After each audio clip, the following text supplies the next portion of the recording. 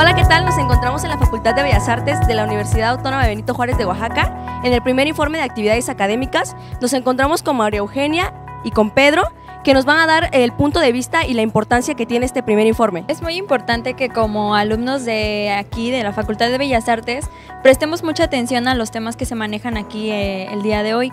Muchas veces decimos, no, pues qué aburrido, pero se da información, por ejemplo, para mí es muy importante saber acerca de las becas, de las condonaciones, de todo lo que, de los recursos que hay en la escuela y sobre todo en qué se maneja nuestro dinero. Ok, ¿me podrías decir cuál fue lo que más te interesó, te llamó la atención de este primer informe?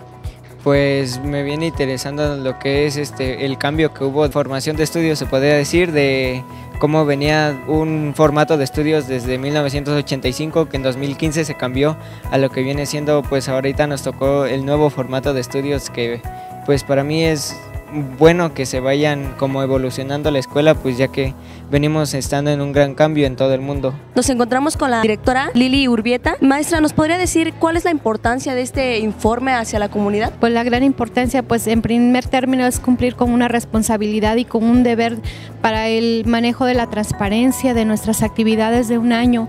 Yo creo que es mostrar un año de, de intenso trabajo, pero que también beneficia y posiciona a nuestra universidad pues al contrario, agradezco a todos el apoyo, sobre todo a nuestro señor rector, el acompañamiento de cada director de las unidades académicas de nuestra universidad y pues invitarlos a que cada director también cumpla puntualmente con este ejercicio de transparencia y de rendición de cuentas. Muchas gracias. Este fue un informe para Notiwapjo.